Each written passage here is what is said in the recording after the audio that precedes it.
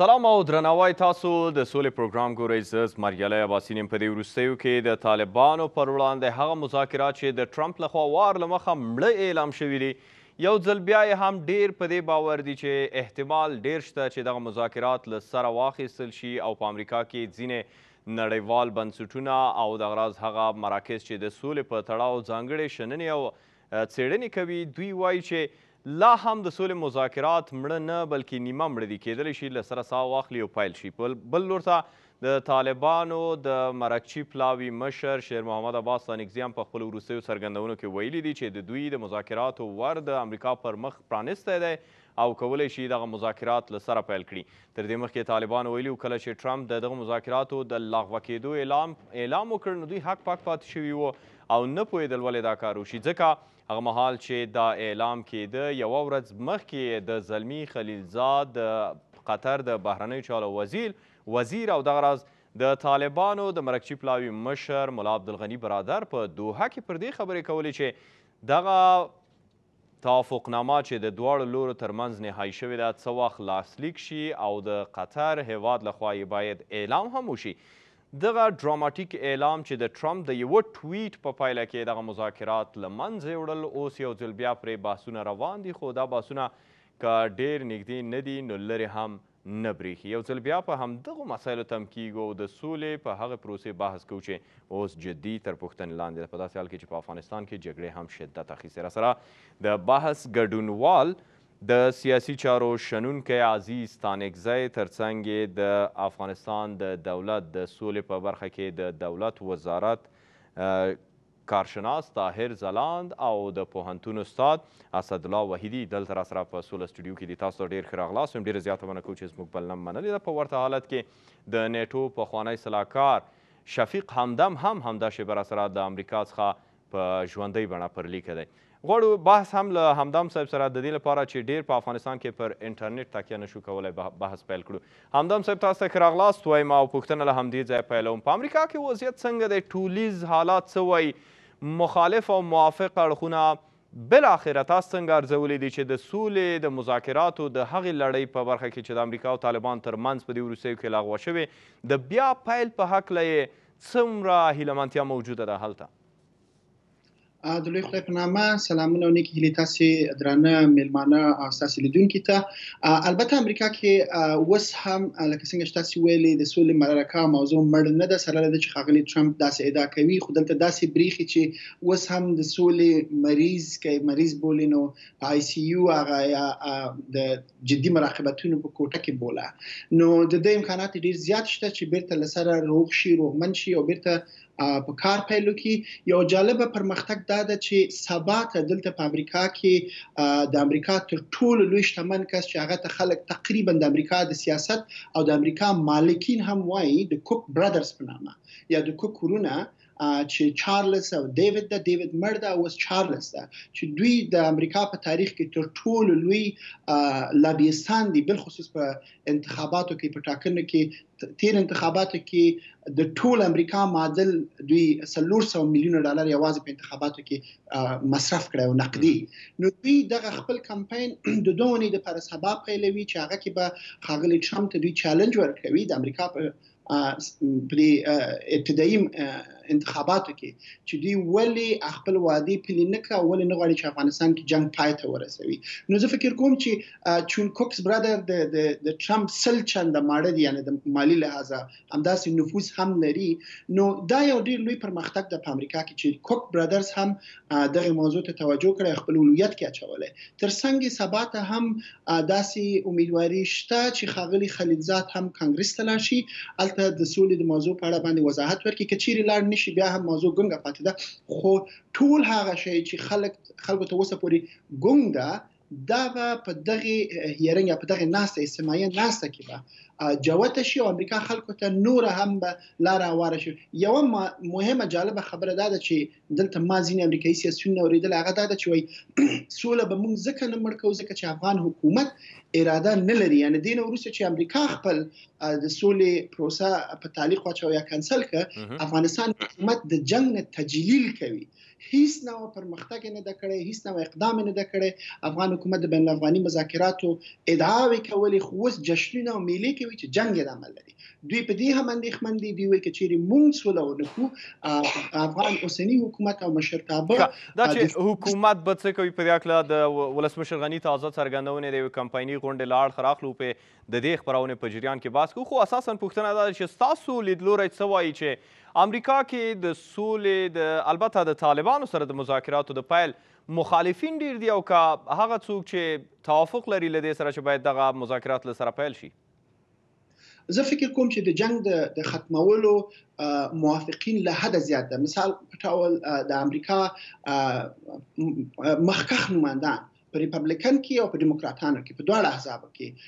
ځینی چې مثلا ما غرالی کې ګډون کړی او ریدل مې د داغوی د ستراتیژي پر راس کې لکه مثال په توګه یو میرمن د د تلسی په نامه هغه د دیموکراتانو کاندید ده بل میرمن وارنر ده بل یو خاغله د جوج ده دوی ټول د ستراتیژي پر راس کې دا د چې د افغانستان جنگ دی باید پای ټکی ورته کېښوده چې همداراز د جمهوري خواهانو د ټرمپ اولنۍ ژمنه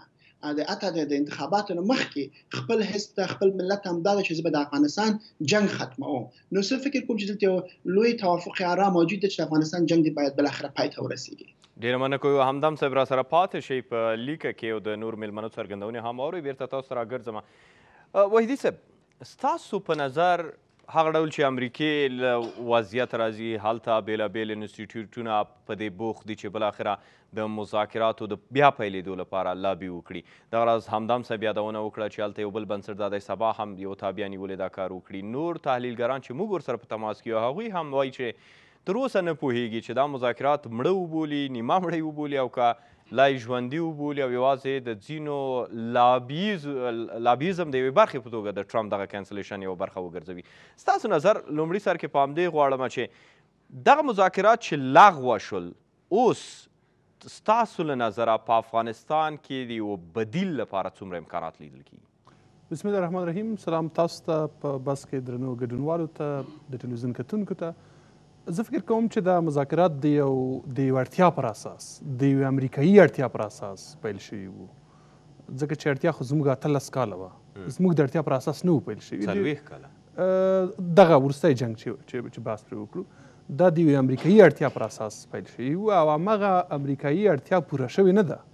په دې خاطر دا خبرې بیا پیلیدونکې دي البته څه چې امریکایان کوي د تکتیک دی څه چې امریکایان کاروي دا یو تکتیک دی بدیل جګړه د افغانستان کې د جګړې غځول دي اتلس کاله امریکایانو جګړه وکړه مګر هغه څه چې دوی غوښتل ورته ورسیږي لویې برخې ته یې نه دي رسېدلي، سره له دې چې ځینو مسایلو یا ځینو اهدافو ته رسېدلي، خو لویه برخه اهدافو ته نه دي رسېدلي. امریکایانو دغه خبرې د یوې اړتیا پر اساس پیل کړې وې او هغه اړتیا به دوی تعقیبوي، هغه ته به ځان رسوي، په دې خاطر دا خبرې بیا پیلېدونکې دي. یعنې دا یو تاکتیکي حرکت و چې دوی لا غوايي. له شک پرته که تاسو یاد شي، ما د دې خبرو نه وړاندې هم دا خبره کړې وه، امریکایان چې کله خبرو ته راځي، د یې خبرو ته حاضرېږي یا تړون ته حاضرېږي، تړون کوي تاسو سره، په ختیځ کې موږ تړون ته د یو ارزښت په سترګه ګورو چې ځکه تا سره تړون کوم، زه تا سره ژمنه کوم، بیا پر هغې ودرېږم، که له دې تېرېږم دا زموږ د اخلاقي او دیني ارزښتونو خلاف کار دی، یا که ته یې مسلمانانو بحث ته وباسئ هم په ختیځ کې تړون ته د یو ارزښت په سترګه کتل کیږي، په لویدیځ کې د یو چانس په سترګه ورته کتل کیږي. د څنګه چانس چې تاسو په موقتي ډول استفاده ترې وکړئ. ښايي لاس چا ته ورکړئ تر څو مو د په چپ لاس د هغه د وهلو موقع پیدا کړئ. دویم دا دی چې کله تاسو له امریکې سره خبرو ته داخلیږئ دا یو یو مخ نه دی. یوازې دوه پنځوس امنیتي نهادونه دي. تاسو له یو اړخ سره په خبرې کې یئ بل اړخ درباندې ګوزار کوي. په دې خاطر د امریکې سره خبرې، د سولې خبرې پر ملا خوړل دا یو ډیر پیچلی او عمیق بحث دی. ښه راځو په دې باندې چې یو وخت کله چې مذاکرات په پیل شول او بالاخره دوام یې درلود، موږ او تاسې همدالته د سولې پروګرام کې پرې بحثونه کول، ستاسو د ډیرو باور دا و چې د مذاکراتو په پر وړاندې درېدل یا یې لغوه کېدل اول د جنګ دوام دی او کله چې بیرته ټاکنې ترسره کېږي، نو دا په دې مانا چې پنځه کاله نور هم دغه مذاکرات باید وځنډول شي. اوس څنګه وضعیت ارزوئ؟ دا دی پوره لس ورځې پاتې دي چې ټاکنې به ترسره کېږي په افغانستان کې. دا چې شفافې به وي، سره ساسري به وي، امنیت به څنګه وي، دا جلا مسایل دي. و به یې مني که څوک، که به یې ونه مني دا بیا په وخت بحث کوو. خو اوس که ټاکنې وشوې نو اوس تر دې وروسته تاسې وضعیت دا دی څنګه ګورئ؟ که ټاکنې وشوې او نتیجه یې راغله، د دې مانا دا ده چې امریکایان رښتیا غواړي افغانستان کې پنځه کاله نور هم حکومت وي. غواړي په افغانستان کې پنځه کاله نور هم دغه دغه کیسه چې دوی روانه کړې تر اوسه پورې دغه په همدې شکل دوام وکړي که د ټاکنې لانجمنې شوې که دا ټاکنې داسې شوې چې پایله یې خلکو نه منله که په دې ټاکنو کې ډېر کمه برخه خلکو ګډون وکړو که په پراخه کچه تقلب چې ورته تیاری روان دی دا رسوا شو جنجالي شوې بالاخره بیا یا نتیجه نه راوتله یا یو داسې حکومت جوړ شو لکه دا د ملي وحدت شی داسې یو شی جوړ شول نو بیا معنی همدغه ده چې دوی به بیرته خبرې پیلوي او دلته به هم یو داسې څه رامنځته کړي وي چې که څوک وایي چې دلته یو مشروع حکومت دی دوی به ورته وایي چې نه دی خو ځکه چې د رایو پر اساس نه دی راغلی یا د افغانستان د خلکو د ارادې پر اساس نه دی دا یا د توافق پر اساس دی یا د تقلب پر اساس دی یا د مصلحت پر اساس دی یعنی په دې معنی چې ویل غواړی ښاغلی وحیدی صاحب چې که چیرې نوی حکومت رامنځته کیږي چې تاسو شکمن یاستئ چې ټاکنې به څومره بریالۍ وي یا د امریکا اراده په دې برخه کې څه ده نو دا په دې معنا چې امریکا ونه غوښتل طالبانو سره د موافقه که د انتخاباتو پر اساس حکومت رامنځته شو په نورمال شکل اعلان شو چې خلکو ومنلو یا مخالفینو یې ومنلو او که چا مخالفت کولو امریکا تر فشار لاندې راوستو نو معنا یې سولې کیسه بیا نوره سر خوړلی که ټاکنې جنجالي شوې که یې نتیجه جنجالي شوه که دغسې وي لکه دوه زره څوارلس کال ټاکنې چې چې قراین هم دا ښیي نو پیلی دا خبرې به پیلېږي او بالاخره به بیا که امریکا هره معامله کوي دلته که څوک مقاومت کوي ورته وایي به چې تاسو د څه پر اساس مقاومت کوئ تاسو د خبرو معنا دا اخیستل کېدای شي چې په ټوله کې افغان حکومت ولسمشر غني ډاکټر عبدالله چې د ملي یووالي حکومت شریکان او دا د یو ځل بیا رقیبان دي د راتلونکي حکومت لپاره سره په مبارزو بوخت دي دوی اصلا مهم نه دي تاسو ته. زه فکر کوم پخوا هم د وسایلو په حیث کارول شوي وو، د ابزارو په حیث کارول شوي وو، امریکایانو د خپلو ګټو لپاره کارولي وو، نه یوازې دوی بلکې د دوی هغه سیستم چې دوی رامنځته کړی وو اوس یې هم کاروي، په راتلونکي به یې هم وکاروي، دغه د کمپ ډیویډ غونډې ته ولسمشر غني ور روان وو، دا خو دوی نه ده لغوه کړې، دا امریکایانو لغوه کړه، ځکه چې له طالبانو سره توافق ته ونه رسېدل، که نه کمپ ډیویډ کې څه کېدل یو ډېر عجیب بحث وو، په دې خاطر یعنې دوی د امریکایانو د اساسي اهدافو پر وړاندې نه پخوا درېدلي وو، نه په راتلونکي کې د درېدو توان او جرئت لري، یوازې د وسایلو په توګه کارول کېږي، البته په ځینو حالتونو کې به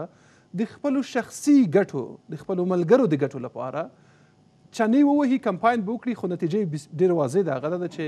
هغه څه چې امریکا نه غواړي دوی باین عملي کړي بله لاره نه لري. ډیره زیاته منه کویدی صاحب. ستانک زی صاحب ستاسو له عینکو غواړو دغه مسلې ته وګورو په عین حالت کې د مذاکراتو په لغوه کیدو باندې له یوې خوا که څه هم افغانان نه پوهیدل چې دا توافق د څه پر سر دی خو ډیر داسې داسې ښکاریدل چې دوی دا فکر کو چې ګویا د دې توافق په کیدو سره به جنګ را کم شي او سوله به را روانه وي او دلته به هم ارام ارامي وي که څه هم په دې هکله ډېر شکونه موجود دي خو په هر حالت دا لغوه شو بالاخره موږ ولیدل کمپاینونو دا د همدغه لغوه کېدو نه وروسته شدت بېرته واخیست او دا دی موږ لس ورځې وروسته ټاکنو ته ورځو ستاسو له نظره دا لغوه کېدل د دې مذاکراتو بیا پیلېدل او په دې پورې نور تړلي مسایل چې د امریکا او طالبانو پورې مربوطېږي څنګه دي؟ بسم الله الرحمن الرحیم تر ټولو د مخه بعضې بیزونو میزونو شاته دوستان یوازې دې چې دغه سیستم د دولت دغه چوکاټ د دولت دغه تقویه کو دغه وهو درګرده ریشې په هغه کو له ریشو نه وهو په هر صورت ډېر دوستان زه وینم زه دغه انتخابات اوله موفق وینم دا به موفق او د افغانستان ټول خلک به په دې کې ونډه اخلي هغه کسان چې واجد شرایط دي راغلو په دې کې د مذاکراتو په مورد کې چې دا ولې ودرېدل دا یو خیالي مذاکرات وو دا د دا د خلیلزاد په نفع وو دا د پاکستان په نفع وو دا د طالبانو په نفع وو دې کې د افغانستان د خلکو ضرر وو دې کې د افغانستان د دولت او د حکومت ضرر وو بالاخره دلته د افغانستان خلکو د افغانستان دولت رئیس جمهور سي ممثل د ارادې د خلکو د د خپل اواز پورته ک په امریکا کې کانګرسمینانو اواز پورته ک هلته کې سنا کې مجلس کې اوازونه راپورته سو ته غو د ترامپ دې ته متقاعد سوسي خو ایدی صاحب او پاین حالات کې جناب همدم صاحب دې ته اشاره درلوده چې دا وسایل دي د حکومت دا خو دا خو د دوی شخصي نظر ده زه دوی هیڅ کله وسایل نه بلم بالاخره دلته یو دولت موجوده دلته انتخابات سوي داسې یو په یو حکومت کې دوه سره راغلي دا د توافق له مخې راغلي او دا د مجبوریتونو له مخې راغلي دي، دا بېله موضوع ده. اما اوس دلته موږ یو یو یو یو یو اداره لرو، دا کولی شي چې د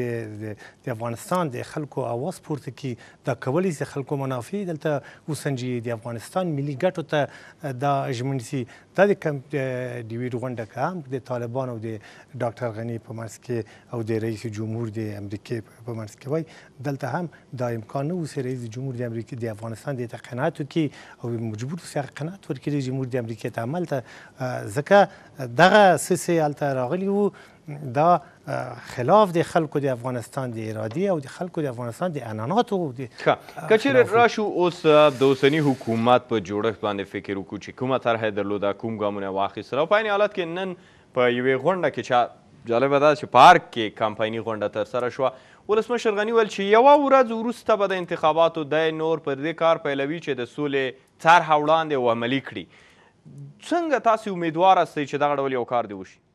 زه د صلح د پاره امیدوار یم دغه مذاکرات چې په ټپه درول شوي دا په ټپه نه دي درېدلي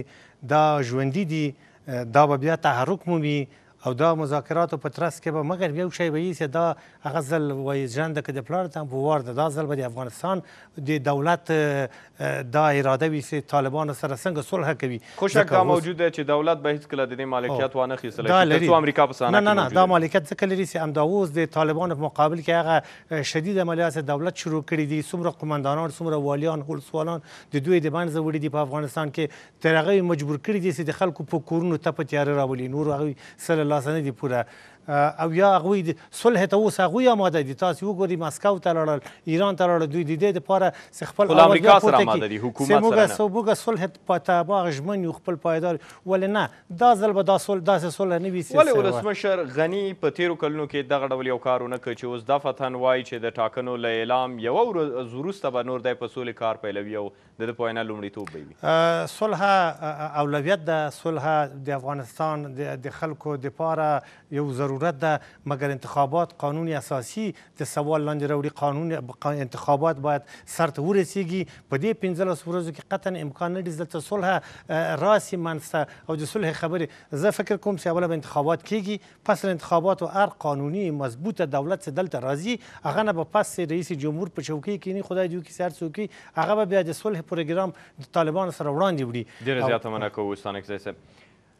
د دولت لخوا ځانګړی وزارت جوړ شو د سولې په نامه او ځلاند صاحب تاسو د کارشناس په توګه یا د شنونکي په توګه ورسره کار کوئ په دغه برخه کې د دغه وزارت وروستي معلومات څه دي؟ مذاکراتو په هکله څومره اطلاعات لرئ چې امریکایان په کوم موډ کې دي؟ بېرته طالبانو سره غواړي مذاکرات پیل کړي که نه دوی نور دا مذاکرات درولي او نور به پیل نه شي؟ کې د دولت وزارت د یو دولتي نهاد په توګه باندې ټولې هغه پالیسۍ هغه چارې چې د سولې په برخه کې وي هغه تعقیبوي. تر کومه چې د معلوماتو خبره ده، لومړی ځل هم نه دی چې په دې اړه وغږېږو. د سولې په چارو کې دا هماغه لومړۍ ورځ وه چې کله په دوحه کې خبرې اترې شروع کېدې، دولت په پوره پاملرنې له هغې نظارت کاوه او وخت په وخت یې معلومات هم هم له رسنیو سره هم له خلکو سره شریکول. خو دا وزارت نه و موجود. د دغه وزارت د چارو د دغه وزارت د امادګیو څخه لکه څنګه چې واضح ده د سولې د راتلونکو خبرو لپاره البته هر کله چې دغه فرصت مساعد شي مخکې دوستانو خبره داسې وکړله چې ګوندې په دې تیرو پنځه کالو کې دغه فرصتونه برابر شوي دي او افغان دولت دغه فرصتونه له لاسه ورکړي خو داسې نه ده بلکې په وار وار سره تاسې کتلي دي چې د دولت د رهبرۍ له خوا طالبانو نه هیله شوې ده چې هغوی د سولې خبرو ته د حتی د یعنی د بین الافغاني مذاکراتو د امریکایانو سره تماس شته د دولت د سولې په برخه کې د دولت وزارت له امریکایانو سره تماس لري د دوی څخه مو خبر اخیستی چې دغه مذاکرات چې تاسو لغوه اعلام کړل بیرته یې پیلوي که نه د دوی معلومات یعنې کومه رابطه شته امریکایانو سره په دې برخه کې؟ د دولت د او د طالبانو او د امریکا ترمنځ د مذاکراتو او بیا د افغان حکومت سره د مخامخ مذاکراتو په لړ کې تاسو بحثونه به تعقیب کړي وي په دوه پړاو ویشل کېدل هغه څه چې د افغانانو پورې تړاو لري هغه څه چې د افغانستان داخلي مسایل دي هغه څه چې هغه باید په آینده کې افغانان د هغې په اړه باندې تصمیم ونیول شي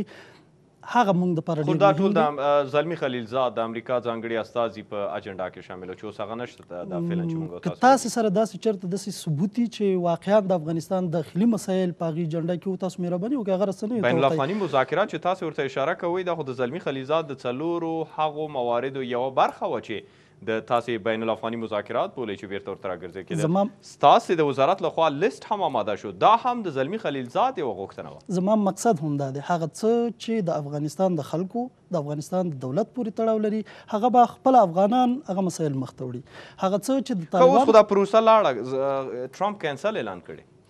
اوس څنګه ده ستاسې معلومات شته تماس لرئ که نه دا راته ووایئ لنډ د سولې په خبرو کې دم ګړۍ د افغان دولت نظر او موقف ډیر واضح دی د افغانستان دولت نه غواړي د سولې په څیر یو ملي مبحث یو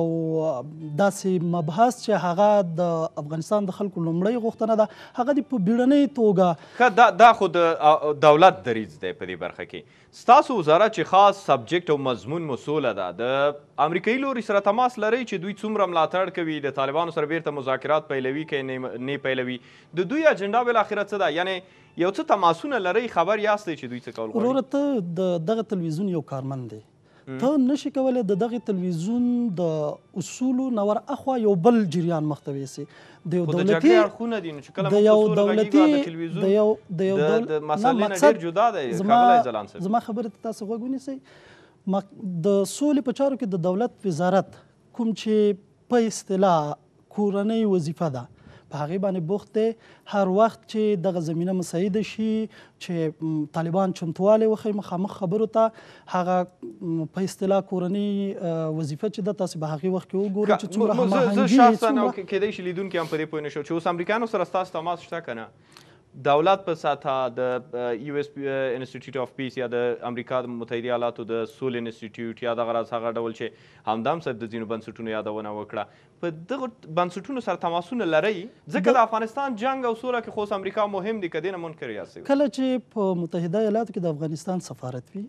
کله چې په کابل کې د متحده ایالاتو سفارت وي د دې نه تاسو څه معنا اخلئ خو بیرته بیا تاسو ته راجع کیږي معلومات مو څه دي معلومات شته که نشته دا راته معلومات ما مخکې تاسو ته ویلې چې د سولې په تړاو باندې د خبرو اترو کوم طرح چې مخکې ډیزاین شوی البته د دولت لخوا به په دې برخه کې لکه څنګه چې کله هم امدګي د بین الافغاني مذاکرات لپاره وښودل شي تاسو به ووینئ هغه هغه مهال هلته به تر ټولو مهم شی چې کوم دی هغه د افغانستان د خلکو غوښتنې راځو دا چې امریکا سره تماس لري که نه لري په دې اړه خو تاسو واضح څه ونه ویلې ما تاسو ته مخکې وویل چې دغه سفارتونه په څه معنا دي دغه سفارت خو تاسو پورې مربوط نه تاسو خو د دولت وزارت یاستئ تاسو خپله ورسره تماسونه نه نیسئ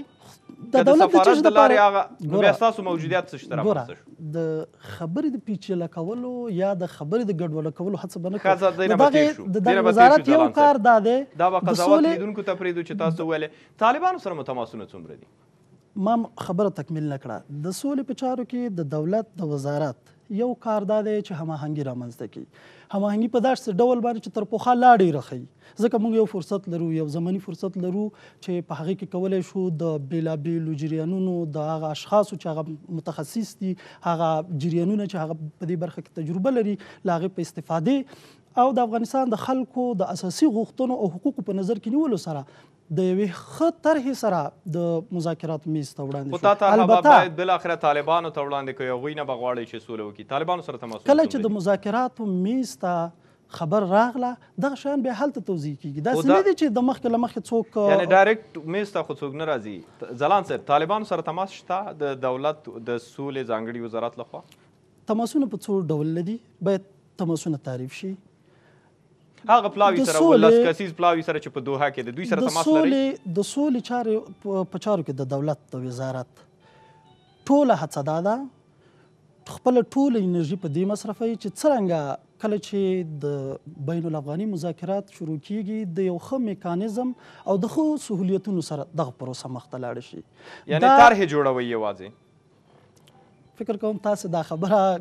یا غستل نه غواړئ یا زه شاید تاسو ته سمه نه زه نه اخلم واقعا زه نه اخلم دا دا تاسو خبره او اخیستل شوی کنه دا به د بحث بل ګډونوال ته حواله کو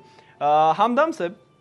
ستاسو برداشت په لومړي سر کې دا راته ووایي چې د ښاغلي ځلان له خبرو څو دوی د سولې په برخه کې د دولت د وزارت استازیتوب کوي دلته البته زه فکر کوم چې افغان حکومت بل خصوص دغه نوی تشکیل وزارت په هیڅ ډول نه طالبان سره اړیکې لري نه د امریکایانو سره نه اراده لري د مثال په توګه تاسو یو سی پی یاد ک یو سی پی په لسم د سپتمبر یا ناتو ورځ وړاندې یو ریسرچ پیپر خپور ک واشنگټن ډي سي کې په د لسم باندې 15 ورځې وړاندې یو لوی ایونت اخیسته چې هغه کې سلو 15 کس پانلستانو هغه کې هیڅ د افغانانو نسوب نو سبا ته بل ایمن لري د افغانستان د طالبانو د ادغام مجدد تر نامه لاندې چې جان سابکو د پکې یو ایس آی پی کسان دی او ځینې نور د افغانستان د چارو تکړه لیکوالان هغهان دي چې په دغه ناسه کې شته خو د افغانستان د حکومت نه هیڅوک پکې ګډون نه لري ځکه چې د افغانستان په حکومت کې تر اوسه پورې داسې اراده نشته د مثال په توګه موږ تاسو راځي بحث د امریکا او د طالبانو د سولې په اړه کوو خو آیا دغه سولې د افغانانو ضرورت د اولویت ده که د امریکا او د طالبانو زه فکر کوم چې تر ټولو زیات ضرورت نیازمندي د سولې د افغانان د خلکو ده که چیرې واقعا د افغانانو د خلکو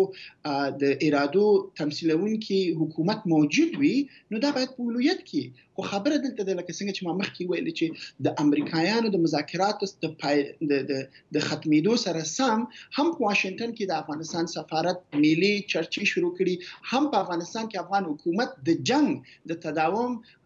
جشنونه لمانځي نو دا په دې معنی نه ده چې اوس په لاند ټوک کې دارت وې چې ډېر لاند جواب راکړي چې د سولې په برخه کې د دولت وزارت ستاسو لاند څه ډول یو تشکیل دی نن زه فکر کوم چې دا تشکیلاتي پړسوب ده دا کوم اجرایوي صلاحیت نه لري د پارلمان نه رای نه اخلي د افغانستان د خلکو اساسیتوب نشي کولای په رسمي توګه د یو تقنینی فرمان پر اساس په هغه شرایط کې چې د رئیس جمهور یا د ولسمشر صلاحیتونه هم محو شوي په هغه وخت کې تشکیل شوی او ترڅنګ حتی د طالبانو لپاره د منلو وړ اداره نه ده د دغه اداري مشرتابه په خوا هم طالبان سره د ناستې اراده لره خو زه فکر کوم تاسو به خبر یاست چې تشنابونه کې دی ایثار کړو نو دا په دې معنی ده چې کچېری افغان حکومت مشروعیت دغه نظام دغه وزارت و نه لري د افغان د خلکو استازیتوب نشي کولای طالبان هم و نه مني دا یوازې یوازې پړسوب دا بلیچ شم نه ده ډیره مننه کوم همدم سه بیرته تاسو سره ګرځم په دې شیبو کې به لنډه د ما اخلو تر غي وروسته بیا هم همدغه بحث دوام پیدا کوي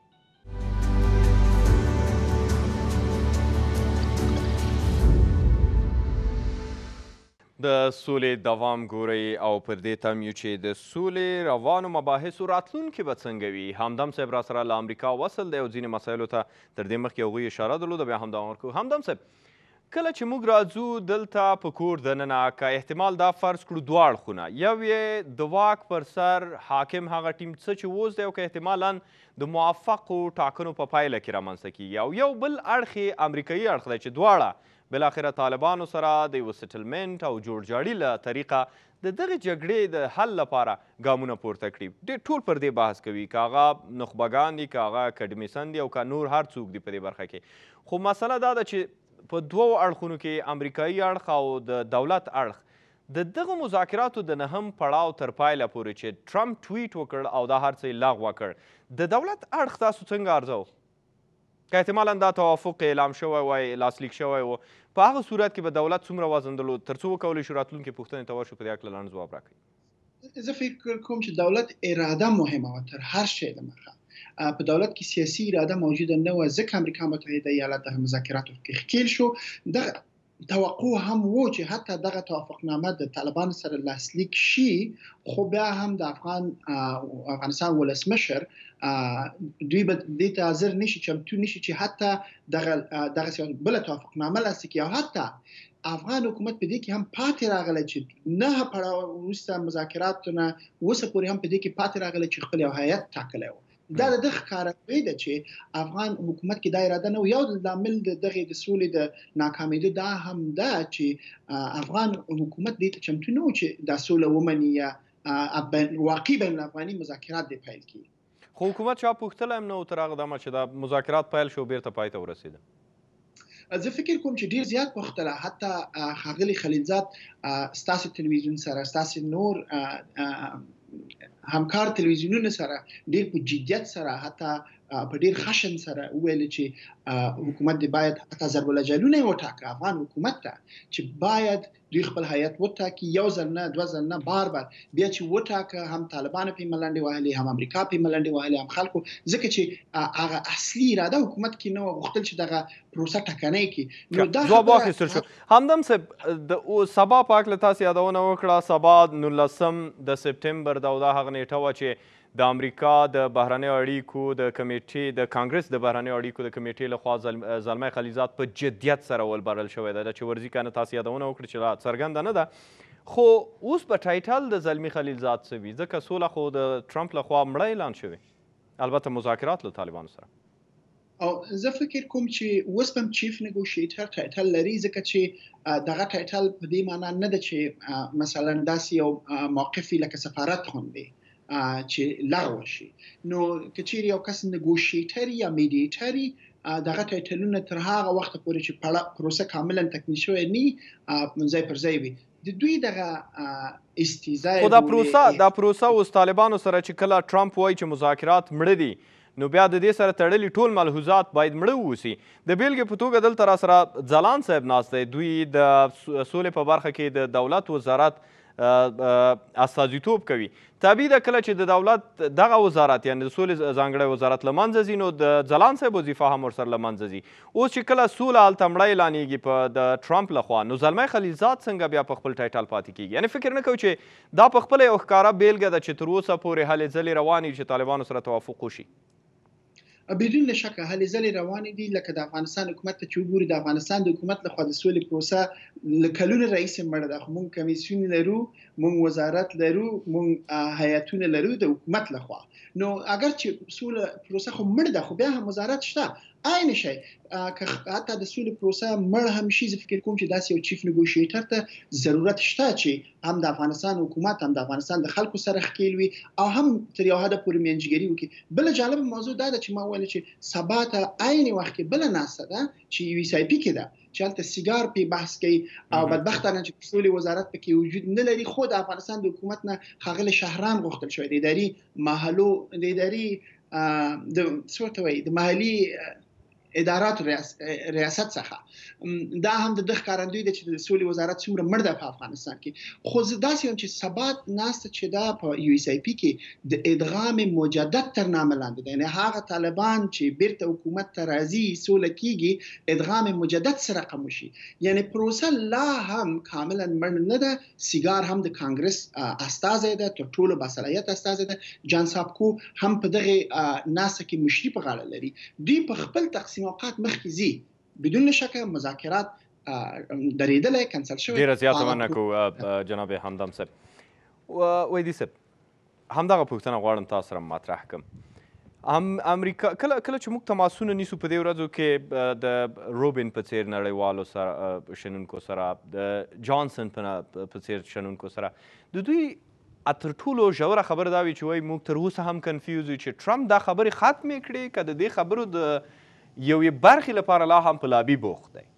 او او له دې اوړي بیا زلمی خلیلزاد که چیرې دا ډول چې دوی وایي چې تاسو که څه هم په دې باور یاست چې مذاکرات لا نه دي مړه دا دوام لري او دا یو تاکتیکي اړخ دی نو یعنی هر څه بیرته راڅرګندېدلی شي او راګرځېدلی شي په دغسې یو حالت کې به بیرته بیا د ټاکنو مسله د راتلونکي حکومت د دولتدارۍ د افغانستان د سولې او جنګ مسله څه ډول اغیز ولري پر دغه مسایلو باندې. ښه لومړی خو که دې خبرو ته یا دې تحولاتو ته تاسو فقط همدې تحولاتو د زاویې نه ګورئ څه چې راغلي بیا سړی دا خبره کولی شي چې یا مړي دي یا شک لرم چې بیا به پیل شي مشکوک یم یا نه پوهیږم خو که تاسو په افغانستان کې د امریکا ښکیلتیا د امریکا ګټو د امریکا ستراتیژۍ او پالیسۍ ته تیرو ته او راتلونکو خطرونو ګواښونو ته وګورئ بیا په قاطعیت دا خبره کولی شئ چې خبرې بیا پیلیږي. په دې خاطر دا خبرې پیلیدونکې زما د معلوماتو پر اساس زلمی خلیلزاد زلمی خلیلزاد کله چې امریکې ته ولاړ هلته استعفا کړې وه د دې استعفا نه ده منل شوې او مایک پمپیو ورته ویلي چې تاسو منتظر شئ دا هر څه بدلیږي د بولټن جان بولټن باسم په همدې خاطر مطرح شوی و چې هغه یو له دغه کسان نه و چې د مسایلو سره مخالفت کولو په دې خاطر دا اوس یعنی علامو نه نښانونه ښکاري چې د خبرې به بیرته پیلیږي په افغانستان کې موږ په تاثیراتو مخکې خبرې وکړې چې چې له راتلونکو ټاکنو ښکارېږي چې مسله کوم طرف ته ځي زه مخکې له دې چې نور د سولې په تړاو نور جزئیات ته لاړ شم څه مسایل غواړم دا تاسو ته واضح کړم اول زموږ دوست انګریزي صاحب د ایسای او د پاکستان او دا خبرې وکړې زه تاسو یو خبره کوم د د د سپټمبر په شپږمه نېټه د آیسای مشر پارک له اشرف غني خلیلزاد سره پټه غونډه درلوده، دا رسنیو کې نه ده رسوا شوې. نو آیسای سره خو د اشرف غني پټ لینونه دي، زموږ خو نشته ورسره، د دې ولس خو نشته ورسره. تر دې وړاندې یې پټه غونډه ورسره درلوده، هېڅ په رسنیو ته په دې اړه هېڅ نه ویل کېږي. او زه چې کله وایم چې د وسیلې په حیث کارول کېږي، خل... ولسمشر غني ته وویل شول چې ته امریکې ته ځې، ته د لسو ورځو لپاره په امریکا کې یې. حیران شو ټکان یې وخوړ چې څه مسله روانه ده.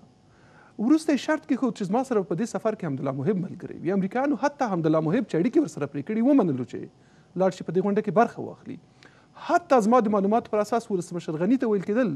چې ته به په څومره راتلونکو څومره وخت کې به ته له دندې استعفا کوې تاته په ملګرو ملتو کې څوکۍ درکوو. خبر تر دې حده پورې رسېدلې وه حتی ورته ویل کېدل چې په لس ورځو کې دوی له زندانونو پنځه زره طالب بندیان خوشي کړي او دا هر څه پرې منل کېدل. ولسمشر غني پوه و چې دغه څه به پرې منل کېږي. په دې خاطر امریکا ته روان هم و. ټول همدې لپاره پلان شوې وه. ترسره کېدله. ټول همدغه مسایل پکې مطرح کېدل. مګر د دې لپاره چې په قطر کې فضا بدله شوه، د دې لپاره چې څه ډول چې دلته له حکومت سره امریکایانو ګېم کولو، لوبه یې کوله، له طالبانو سره هم ګېم کولو، لوبه یې کوله او طالبان له دغو مسایلو سره، خو طالبان یوه خبره کوي، تاسو ته معلوم دي، دویم بحث چې طالبان هم سیمه ییز ملاتړي لري دا اوس روسیه او ایران او بیا چین ته د دوی سفرونو بحث سړی او په مسایلو کې له دوی سره مشوره هم سړی نشي هیرولی چې ډیر نږدې له دغه هیوادونو سره طالبان کار کوي خصوصا د سولې په ستره او اساسي مسله کې په دې خاطر دغه هر څه ګډوډ شول د دغو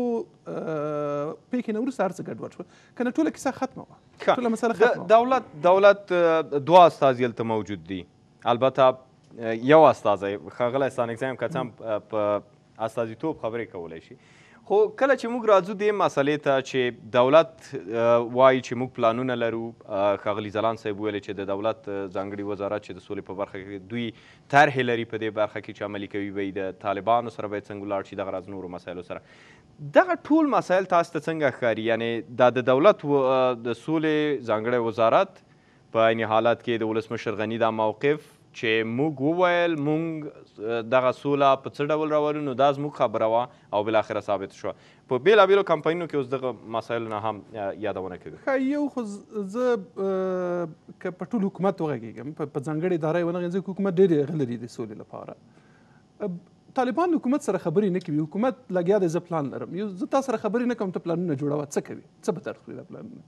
ږدای در سره حکومت کې ځینې ځینې باورونه دا دي چې طالب به مجبور شي چې بیرته افغان حکومت ته راوګرځي نو دوی خپل آمادګي دې ته نیسي او باوري دي کله چې توافق له امریکایانو سره نهایی شوی و یوازې امضا پاتې وه ایا طالبان مجبور شوي وو چې له حکومت سره خبرې خو اوس دغه توافق نشته که بیا وشي مخ همدغه توافق دی که خبرې بیا پیل شي او که ونه شي بیرته بیا نو طالبانو ته کوم انتخاب که طالبان خو په جګړه کې دي هغسې جګړه کوي ګلان نه شیندي په دې خلکو دا هره ورځ خلک وژل کیږي په دې جګړه کې خپله دوی هم وژل کیږي، ملکیان هم وژل کیږي، دې خوا ته حکومتي ځواکونه هم وژل کیږي، لګیا دي په دې خاطر خو جګ هغه هغه مسله خو روانه ده، کیسه خو همداسې پر مخ ځي. په دې خاطر یعنی که دولت پلان جوړ کړي، پروګرام جوړ کړي، هر څه جوړ کړي، له چا سره چا سره خبرې کوي؟ یو څوک تا سره هیڅ تماس کې نه دی، هیڅ نه غواړي درسره وګوري، ته پلانونه جوړوي یعنې څه؟ ډېره زیاته مننه ستانکزی صاحب.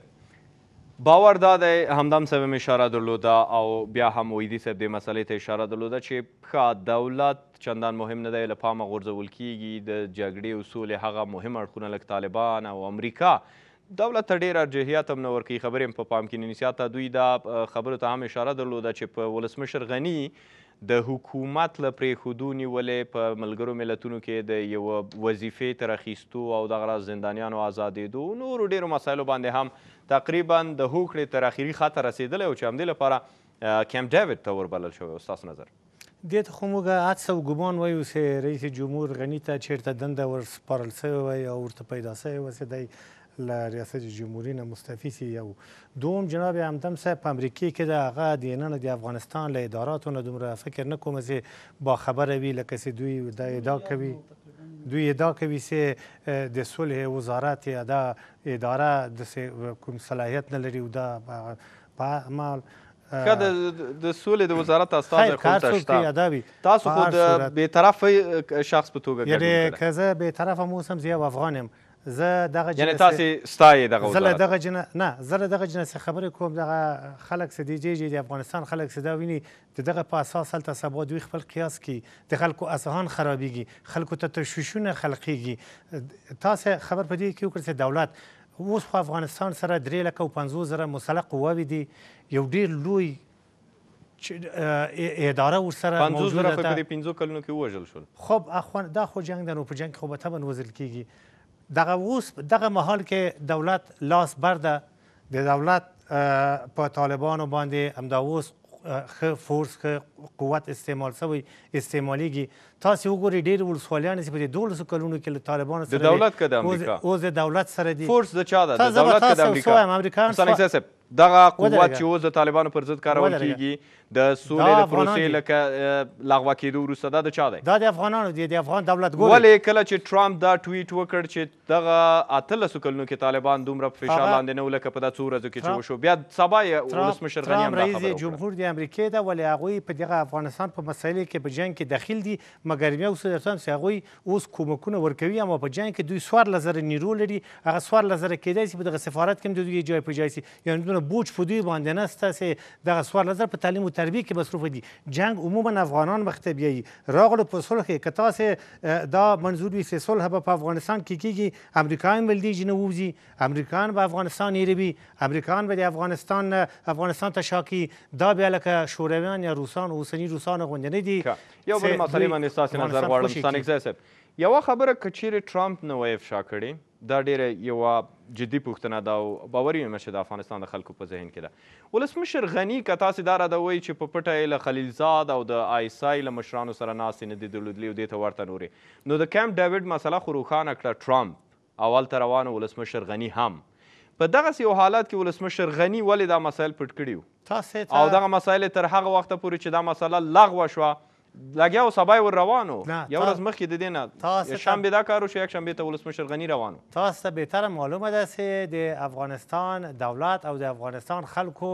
دا له مخکې له مخکې ویلي وو چې هره هغه معاهده یا موافقت نامه چې هغه له طالبانو او د امریکایي هیئت په منځ کې امضا کیږي تر هغه پورې چې افغانان د هغه په اخره کې امضا او مور نه کړي هغه قابل تایید نه ده ځکه بل اړخ د حقوق دغه ناستې مهم مسایل د افغانستان د جنګ او سولې په تړاو د افغانستان د خلکو د ژوند په تړاو مهم مسایل ولې ولسمشر غني د کیمپ ډیویډ ناستې نه مخکې هیڅ ونه ویل ترڅو چې ټرمپ دا مسله افشا کړه؟ هغه خپل دریځ مخکې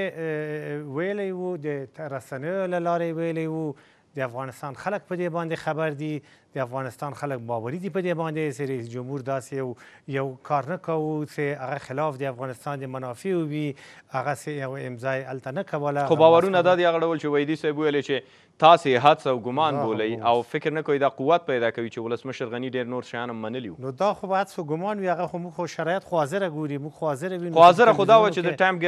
کمپ ډیویډ ناسته هم پټه وساتل شوه. د کمپ ډیویډ ناسته پټه نه وه ساتل شوې، هغه یې راغوښتي وه، هم یې طالبانو هیئت راغوښتی وو، هم یې ډاکټر غني راغوښتي وو. دا د ټرمپ چې د افغانستان د دولت د فشار په اثر د افغانستان د خلکو د فشار په اثر د کانګرس د فشار په اثر هلته د هلته د سیاسیونو د فشار په اثر د سنا د مجلس د اعضاو د فشار په اثر دا یعنی افغان حکومت هم فشار وارد کړی په دې مسله باندې بله دې باندې کوم اړخ کې چیرته یو مسله را تروخانه کې ترڅو وړاندې لاړ شو دغه خپل د میډیا د لارې نه سوي دغه خپل معنا دي چې وویل چې هره موافقه چې د دوی ترمنځ کیږي د طالبانو او د امریکایي هیئت ترمنځ کیږي چې د هغه د افغانستان د خلکو د د خلکو په منافعو سره مغایرت ولري هغه موږ نه منو هغه موږ ته قابل د قبول نه دی یو جهت ته چې قابل د قبول نه یي هغه ویټو ده خلاص ده. ډېره زیاته منه ستانکزی صاحب. ځلاند صاحب! ستاسو معلومات وزارت هغې وخت کې جوړ و چې کله دغه مذاکرات لغو اعلام شول او په عیني حالت کې د کیمپ ډیویډ د ناستې په هکله هم رپوټونه ورکول کېدل چې هلته به طالب استازي ولسمشر غني وبلل شي او ورسره به څو نور استازي هم د حکومت واوسي لکه ښاغلی محب د سولې په برخه کې د دولت وزارت په دې مورد کې معلومات څه دي دغه ناسته څنګه وه تاسو آیا جریان کې وئ په دې مورد کې ستاسو موقف ټولیز څه و لنډ راته ووایئ که چېرې زه په لنډو ټکو کې لږ واضح ډول باندې ووایم د سولې د خبرو اترو البته په رسنیزه اصطلاح لومړی پړاو چې د متحده ایالاتو د استازي او د طالبانو د استازو ترمنځ و د هغې د وروستیو تحولاتو نه مخکې د افغانستان د دولت رهبرۍ خپلې سرې کرښې روښانه کړې وې. هغه د بشري حقونو په برخه کې، د افغانستان د نظام د بقا په برخه کې، د د د ډیموکراټیکو پروسو د دوام متداوم کېدلو په برخه کې او د ښځو د حقونو په برخه کې د افغانستان د دولت نظر هم په هغې کې بیان شوی و لکه د ارګ له خوا اعلامیه خپره شوې وه، ویل شوي وو چې یو شمېر مسایلو باندې توضیحاتو ته ضرورت دی ترڅو افغان حکومت سره هغې په اړه باندې توضیحات وشي. راځو دې خبرې ته چې کله لکه څنګه همدم صاحب چې ویلې یا نورو د کیمپ ډیویډ ناست په اړه لنډ راته ووایي چې د کیمپ ډیویډ ناسته کې ښاغلی رحیمي چې دی د وزارت مشري په غاړه لري او تاسې چې هلته مسؤلیت درسپارل شوی دی او کارشناس په توګه د دې ناستې په هکله تاسو ته معلومات څنګه در ورسېدل؟ تاسو راته یو لنډه قصه وکړئ چې کله کیمپ ډیویډ کې دغه ناسته ترسره کېدله هغه هم په خفیه ډول تاسو ته نه هم پټه ساتل شوې او که نه تاسو ته روښانه وه؟ د دغې مسئلې په اړه څومره د خپله د امریکا د رسمي چینلونو نه معلومات خپاره شوي؟ دا خو هیچا ونه ویل، ټرمپ وویلې. ګورئ دا د سولې خبرې اترې یا دغه د مذاکراتو لړۍ دا ځینې خپل پټ اړخونه لري. یعنې خبر نه و د سولې وزارت هم؟ تاسو زما خبره بل رقم واخیستله. زه وایم یوه پروسه تاسو پرېږدئ چې لږه مخکې لاړه شي. کله چې مخکې لاړله هلته ډېر څه واضح کېږي. د افغانستان د خلکو لپاره کیمپ ډیویډ کې احتمال دا فرض کړو چې وحیدي صاحب وایي چې هلته تللي یو توافق شوی او حکومت ولسمشر غني ته هم ویل کېږي دا مو ومنه دا ومنه دا به لاړ شي او دا مسایل رامنځته شي. یو فرضیه ده که شوي وای دغه فرضیه هم دغه فرضیه مخې ته ګوره یو فرضیه ده هر څه چې کېدل که بالفرض دغه فرضیه ستاسې فرض کو هر څه چې کېدل د افغانستان د خلکو ګټې به پکې خوندي وي د افغانستان ملي منافع به پکې خوندي وي څومره ډاډه وایي که موږ وایو چې دا فرضیه ده چې تاسې وایي دا په ډاډ درته وایو افغانستان د کیمپ ډیوډ د ناستې په هکله د سولې وزارت خبر و ما تاسو ته مخکې یو پوښتنه وکړه تاسو د هغې جواب رانه کړ زه جواب ورکولو ته نه یم ناست زه پوښتنو ته ناست یم ستاسو جواب مهم دی جواب درکول د سولې وزارت د کیمپ ډیوډ له ناست نه خبرو ګوره د سولې پروسه په لویه کې د اول سر نه راونیسه تر اوس بلکې د دغه حکومت د ساختار د لومړۍ ورځونه د سولې پروسه د افغان حکومت ښه لومړیتوب دا و. توافق چې د ته- طالبانو او د زه امریکایانو تر منځ خپل- و هغه مخفي و، زه- دې کې شک زه- نشته. زه خپله خبره د تکمیلوم کیمپ ګرانه. ډیویډ ناسته ولسمشر غني منلې وه چې ورځي به. زه خپله خبره تاسې ته تکمیل کړم. ولسمشر غني بېرته احوال درکړی و چې زه روان یم کیمپ ډیویډ ته؟ زه نه پوهېږم ته څومره متیقن یې په خپله خبره باندې. که متیقن ما نه یم، نه غواړم ځواب نه. ترلاسه کړم. زه خو څه نه زه- وایم چې زه پرې زه چې څه متیقن اوسم جواب- یا شکي. زه که- غواړم ستاسې له خبرو دا اطمینان ترلاسه کړو چې څه وشول. ولسمشر غني د سولې وزارت ته دا ویلي و چې کیمپ ډیویډ کې څه کوي، څه وخت ځي او تاسې یې جریان کې پرېښي وئ؟ ګوره تاسې زما خبرې ته نه پرېږدئ. پرې مه ښودئ خو مهرباني. افغان دولت د سولې په خبرو کې د افغانستان د خلکو د یو استازي اړخ په توګه باندې په بشپړه توګه د سولې د پروسې نظارت کاوه په دې برخه کې خپل سرې کرښې درلودې، د خلکو نظرونه یې پوښتلي وو، مشورتي لویه جرګه یې وکړله، د هغوی نه د هغوی نه نظرونه راټول کړل. خبر وئ؟ ما تاسو ته کومه خبره چې زه کول غواړم تاسو باید اوس خو یا خبر وئ که نه وئ؟ زه څه ویل غواړم تاسو ما دې ته پرېږدئ. نو موږ چې کوم پوښتنه کول غواړو ځواب یې راکړئ. ته زه چې دا وایم چې د سولې د پروسې د پیل نه دا خبرې چې پیل کیدلې تر وروستۍ پړاوه پورې د افغانستان دولت د دې ټولې پروسې نه نظارت کوي تاسو ترې څه مانا اخلئ؟ که دا کومه داسې ژبه وي چې تاسو. د ټولې پروسې اړخ خو بیخي خبر نه وو ډیر په دې باور دي. تاسو څه ووایئ ما خو نه پرېږدي. ډیره زیاته مننه کوو ځلاند صاحب یوه دقیقه وخت لرو همدم صاحب غواړو بحث له تاسو سره پای ته ورسوو په ټوله کې هغه وضعیت چې د حکومت له لوري ترسیمیږي د سولې د راتلونکې په هکله تاسو ته څنګه ښکاري او آیا عملي به شي که احتمالا بیا هم ولسمشر غني وي بیا هم همدغه ډول حکومت وي او بیا هم د سولې په برخه کې د ځینو هلو ځلو مسله هم مطرح وي او د سولې وزارت هم دلته په منځ کې موجود وي والله البته په خلاص ډول سانګزی صاحب ته باید وایم چې د افغانستان د حالات خبرې خغلی غنی سره معیار کې کار کا ورسته دنده مې هم دا سوره سو وخت کې چې دلته راغلی یم نو د خېټ نه وایم خبره دا د دوی دوی لکه د سورته وای د خلیفہ له کیسې خلکو ته بخشش شي وای خدا چې خلک مری پروانه کې 50000 خو جنگ نه پروانه کوي وای حکومت څخه ستراتیژي لري خلک ډیر وجدي بمباری کې یو هغه د سوله مخکې زی په دې شرایطو سوله مخکې نه زی امریکا حکومت شرایط معلوم ده د راتلونکي حکومت لپاره لکه په خوا چې بي سي وا کستاسې پیادېږي الته معلوم څوک به بي سي امضا کوي او څوک به واک ته رسیږي اوس هم دغه شرط معلوم ده حتی که انتخابات هم وشي امریکا حکومت افغانان او نړیواله ټولنه به له هغه چا ملاتړ کوي چې د ده اراده ورسره وي چې سوله راوړي افغانستان ته ډیره زیاته مننه کوو ښاغلی همدم او په عین حالت کې ویدي صاحب ځلان صاحب ستانکزی صاحب چې زموږ بلنه منلې او په دې بحث کې هم را سره برخه واخیسته کور موده د سولې دا بحث هم رانغاړو تاسې په پاک الله سپارو